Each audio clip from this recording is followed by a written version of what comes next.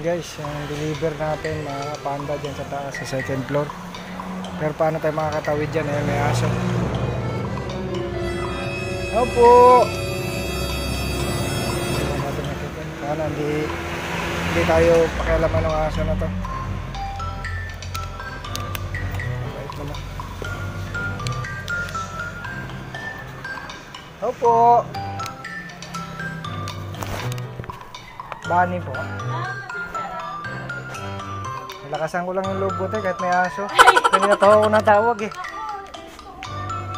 Oh, may aso. Magkano po total? 270. 277 po. Ba't manunuwag kang bata ka? Si cellphone. Ah, kaya pala. Okay na kuya. Ah, salamat. Kaya pala. Di ba nangangagat to, te? Baka pina... Hindi nangangagat to? Baka pagpababa na eh. Baka na sabi, "Ta- tapos ka na sa purpose mo. ito na. Ito na yung gante.